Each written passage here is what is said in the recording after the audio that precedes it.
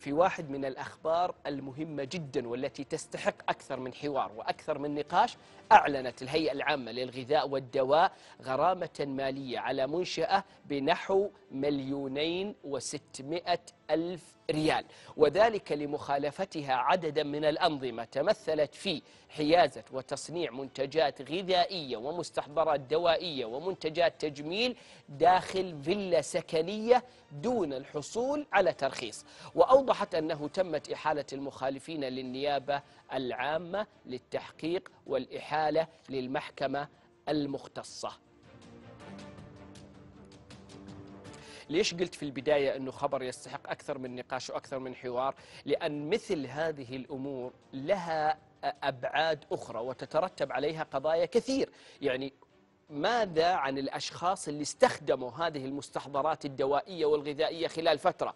الضرر الذي يمكن أن يلحق بهم. إحنا اليوم نتكلم على أشياء صنعت في فيلا سكنية ما فيها ترخيص. ما نعرف إيش وسائل السلامة اللي اتخذت فيها ولا المواد اللي استخدمت فيها ولا الطريقة اللي عملت فيها وقدمت فيها إلى الناس. عقوبة الغرامة المالية العالية أمر جيد.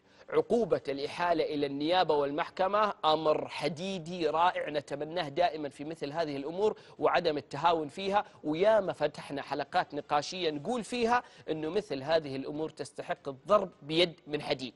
لكن التبعات الأخرى ما الذي سيلحقها نظاميا وقانونيا؟ اليوم لابد من الضرب بيد من حديد على مثل هذه التفاصيل حتى تصبح من الأمور المنعدم. حدوثها من مخالفات لأنها تتعامل مع الناس ومع الجمهور مباشرة وفي أهم منحيين الغذاء والدواء.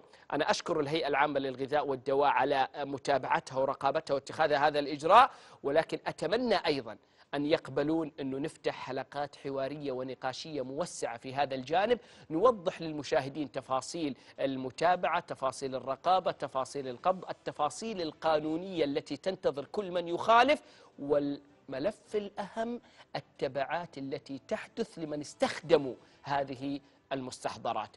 خبر مهم جميل مفرح لنا أن, أن يتم القضاء على مثل هذه الظاهرة ولكن ما زلنا بحاجة إلى قوة أكبر عقوبات أكثر وحوارات متسعة حتى نفهم فيها كل التفاصيل. بعد هذا الفاصل ألقاكم في أول موضوعات أهل الحوارية.